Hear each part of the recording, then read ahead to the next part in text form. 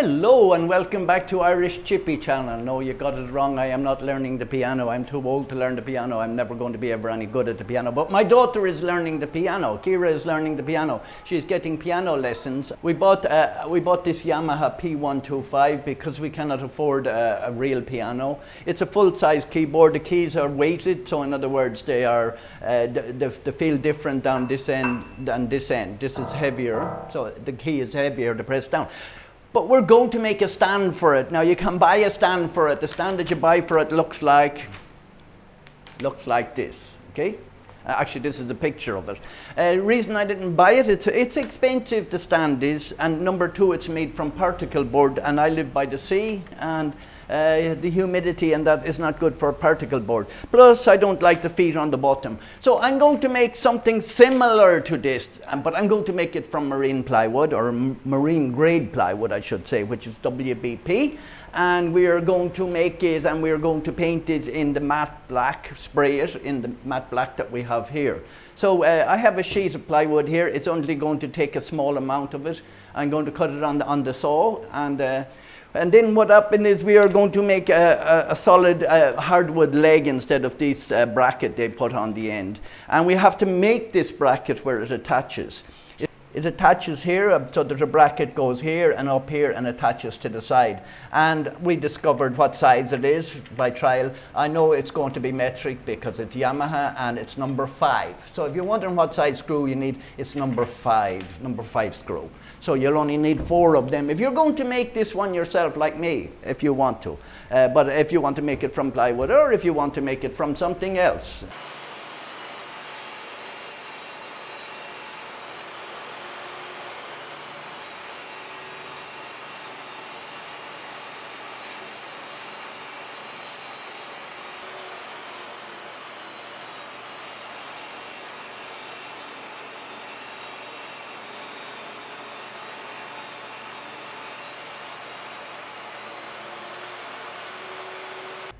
So as you see, there's, uh, there's, there's actually only three pieces of wood to make this up. And, and this, this is the one on the back. Uh, it's still a little bit big. And uh, this one will cut in half. Plywood is expensive, so you plan out what you're going to do first, what sort of pieces you might need left. So what I done was, before I cut this up, I cut this corner out of this one. And that's all the wood we need because we, this is almost the right size and this one is almost the right size because this is 26 inches but we're going to make it a little bit less because we're putting feet on it. So it, I left this 53 inches while I'm cutting it. So the measurements I will give you now the overall width so we the overall width is the width minus uh, of this one will be the overall width less to the double thickness of the three quarter inch plywood or the 18 millimeter plywood. So we'll calculate that. I'll give you all the measurements in the description. Don't worry about that. And uh, this one, I have this one in at six and one quarter. Don't ask me why. I just, uh, I didn't guess it. I kind of looked at the picture and I scaled it down and then uh, with known measurements. 26 inches is the height. Your finished height is going to be 26 inches. That's going to make your piano 28, the keys 28 and one quarter inch above the ground, which is pretty much average for a Yamaha piano. Even a, even a Yamaha grand piano is 28 and one quarter inches off the ground, as far as I know, give or take an eighth of an inch. So we are going to aim for our keys at 28 and a quarter. By doing that, this piece should be 26 inches long. So including the leg, okay, on the leg that we're going to sink it into. It's nice plywood. It's a lot better than, than particle board. Uh, it's going to take a little bit of finishing on it. It's not, not perfect, but we, we will get it there.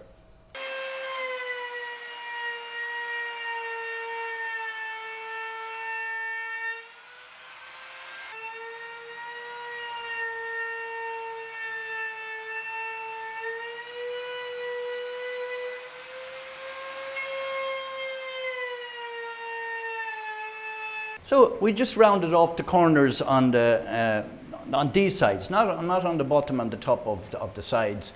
and on the, the, the middle piece. Uh, we don't do the ends as well. We're going to make up a small piece of uh, one by one here for attaching to this. So we'll screw it into this and then into this rather than screw through the plywood. Plywood here is uh, made from Lauan, the outside. It, it absorbs quite a bit. So we're going to give, I'm going to give it a, a coat of uh, of primer or sealer, uh, especially on the edges, and maybe a second one before we sand it. It'll harden it up, it'll raise the grain as well. So we'll just use a normal primer. You can use sand and seal. A lot of people say we won't use sand and seal for the, the reason they, they say sand and seal and doesn't mix with, uh, with other paints later, but I never found that. But I'm going to use white primer on this instead. So uh, especially on the ends now, it'll soak in, it'll soak in, maybe give it three coats on the ends before, and then we'll probably give it a little bit of a filling as well. So I'll uh, paint the ends as well, uh, even where they're joined. I'm going to leave it that it can be disassembled itself. I think I will anyway. I'm, go I'm going to plug some of the holes, but not all of them. So we just, uh, we paint all, all, all, all of it. It will soak in. If it's not thin enough, just add a little bit more to it. And uh, you don't want to build up a, uh, a, layer on it. You can use a roller if you want to do it quicker. We will make up the, the, the little pieces here and we'll make up the feet. I'm making them from mahogany because mahogany is a little bit stronger, harder wearing. Uh, the piece here doesn't matter what it's made from, but we'll probably use a bit of mahogany as well.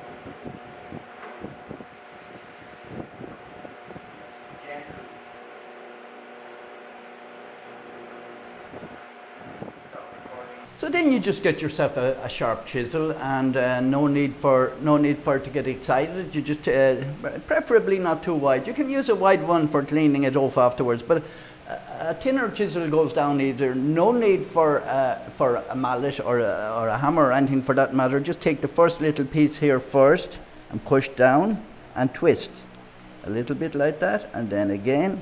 And if you take little slices like that, it's much easier. You can put your hand on the back of the chisel if you like. And you can tidy it up later on. You may need to use the mallet on some of it, but I don't think so. If you kind of, rather than go just straight down, come in like that, that means you're slicing into the wood. So then you'll have your piece of wood here then, you'll have your piece of plywood here to make sure that it's going to fit in. If it's a little bit too loose, don't make it too tight. You might crack the sides off this. Going like this, better off doing one side along first and then turning it around because you're going like that rather than going with this. This is an unnatural way of doing it. Uh, we have the have the two uh, legs done up or bases done up. I just gave it one skim on the bottom here. Uh, I don't really like using epoxy unless I have to. There's no need to use epoxy on this. I'm going to use wood glue. So I'm used to, I'm using a Titebond. Uh, so uh, I'll give it a tap in first and then we will use the clamp to squeeze it in the rest of the way. I dry fitted it already so it will work. And uh, so I'm going to put the glue in now and it should squeeze out then uh, I'm going to spread it a little bit I'll get a little bit of I think we'll be able to work this back in again so uh,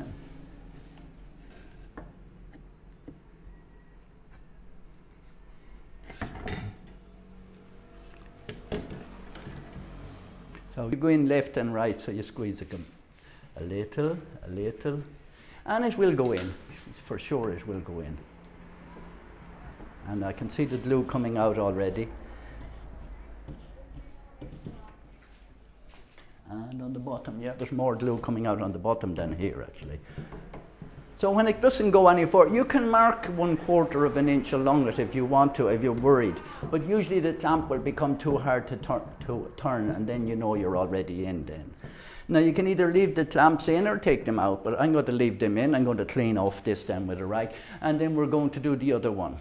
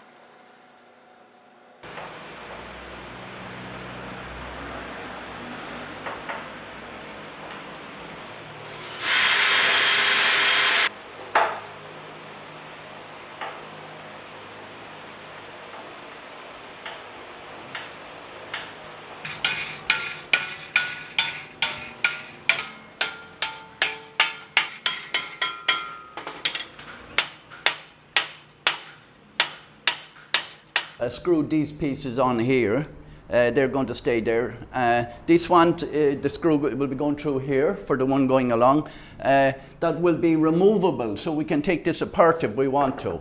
And there, uh, we have filled them up a little bit there and sanded them, and uh, we are going to prime the hardwood, and then we will spray them. Now, for the brackets, you saw me bending them outside there. the bracket, we made this from stainless steel from an old tank. We used that old tank for lots of jobs over here. This one uh, is 145 millimeters long. We made this. Uh, we made it 70 this way. This way didn't matter what's left over. It's about 25 or 30 millimeters. It's 30 millimeters that way. So of the bench to where the hole is is 54 millimeters. And between each centers here is 110 millimeters because it's made by Yamaha, everything is going to be, dimensions are going to be done in metric. So we're just going to drill them. We'll drill them a little bit bigger. Uh, as we said, we're using a five millimeter screw. We're going to use a, bit, uh, a 1564 uh, bit for these. So there'll be a little bit of freedom in them. And then when we tighten them, we will put a washer on them.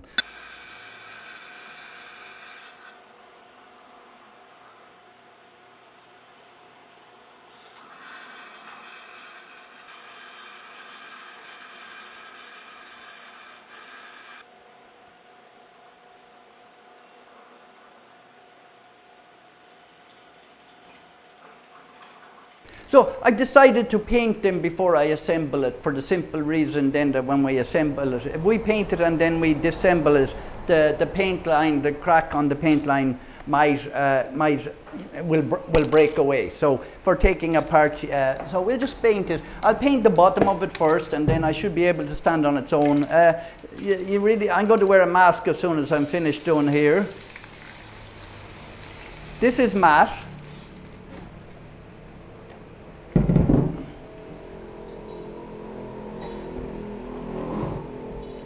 I will do the bottom again. The bottom is not so important. I'll try and get one coat on.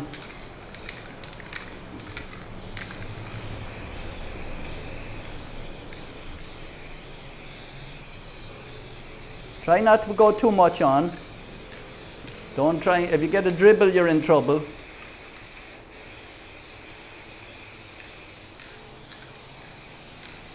And then we'll go and give it a second coat.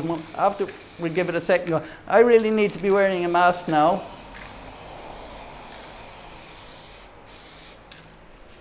I'll go this side.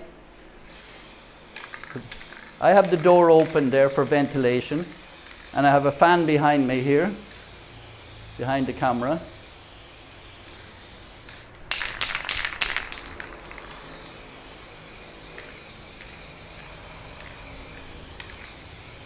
And what I do is I, I, I let it, uh, don't let it fully dry. You, you want to keep painting, then you go over the other side.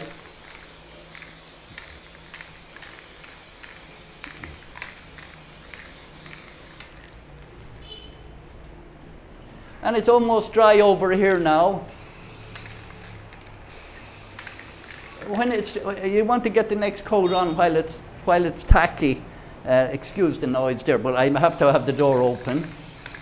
And then the second coat will stick better rather than letting it fully dry. And then uh, same when you're doing epoxy uh, on your on boats and things like that. You don't let it fully dry but this dries fairly fast this stuff.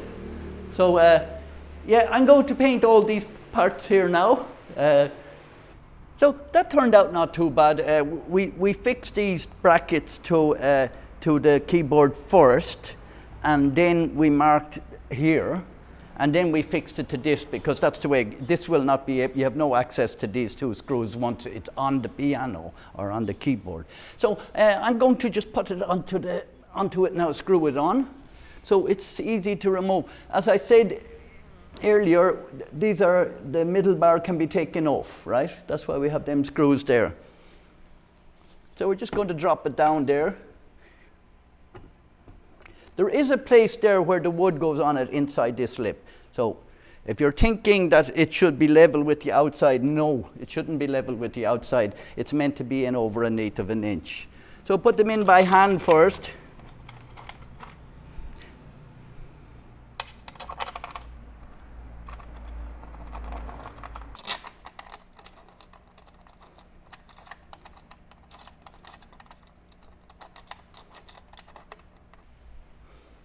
And then we'll tighten them up.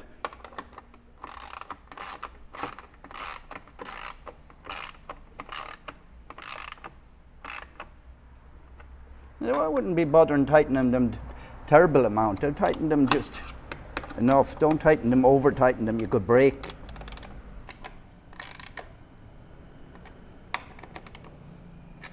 Now, now Ciara is going to play the piano for you now when she comes in from school. So uh, I'm going to lift this on my own.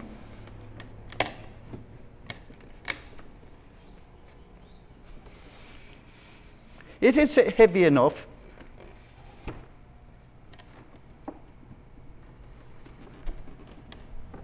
You see, these, this, this keyboard has uh, speakers here, but it also has speakers underneath.